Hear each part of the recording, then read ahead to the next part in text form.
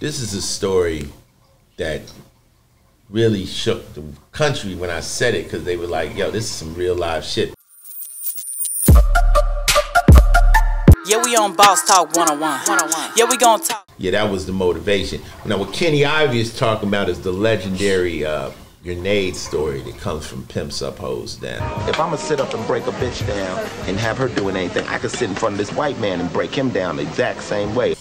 This is a story that really shook the country when I said it because they were like, yo, this is some real live shit. But what happened, I had been signed to Warner Brothers by now. Let's fast forward. I'm signed to mm-hmm. Warner Brothers, and I created this thing called the Rhyme Syndicate, which is like the hip hop fraternity. There were all these different groups in LA, and I said, we're gonna we're gonna create a, a syndicate like Lucky Luciano did with the commission. You're a boss, she's a boss, all y'all are bosses, but all the different groups. But we agree as bosses to meet before we beef. Mm-hmm. I'm talking to you. I ain't talking to your crew. You got 35 motherfuckers. You got 50 people. But us bosses sit down. And in the mob, they call it a sit down. Mm-hmm. Mm-hmm. We agree. Something's going with your people and your people, y'all sit down. The bosses usually can squash it, but soldiers want to fight. Yeah, yeah. So the bosses. So we created the syndicate. So when I my my thing was, if I get over, I'm gonna try to get y'all record deals. I got Everlast signed at Warner Brothers. I got Donald D. So I took Donald D and Divine Styler over to Epic. So here's my play.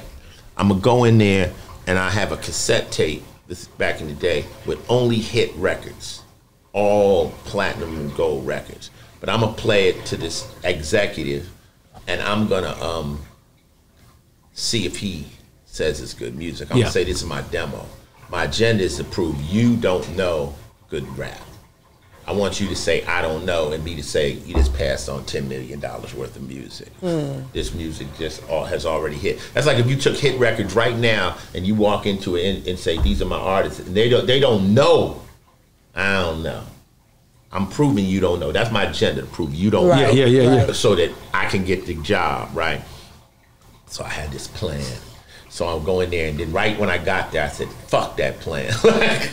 I'm just gonna go in there. Now I, I know from my experience in the business, when I bet on you, I don't really bet on the cameras and shit. I bet on you. Correct. Mm-hmm. I believe you're gonna win. You as a team are gonna win, regardless with or without me. That's why I want to fuck with you because I know you guys are gonna win. Yeah. So I said, I gotta, move. I gotta sell myself. Fuck this tape. So I went in there and I said, look, I had a group, I had a bunch of stuff I was gonna let you hear. I decided not to. I said, I've got a gold record over here at Warner Brothers. I have some artists I would like to bring over here to Epic and get record deals for them. I said, but um, I'm not gonna let you hear the music. He leans back. I said, nah. I said, well, it's kind of like if I was selling you hand grenades in an alley if I was selling you hand grenades, I'm not gonna let you throw the hand grenades to figure out if they're good. You either believe they're good or you don't. Right? And he goes, Wow, you have a lot of business sense. Have you ever been to business school? I said, No, but I sold hand grenades. That's hard. That's hard, man. Throw me a. That's hard. Throw me a check for half a million dollars. That's hard, man. You you you can't make that up.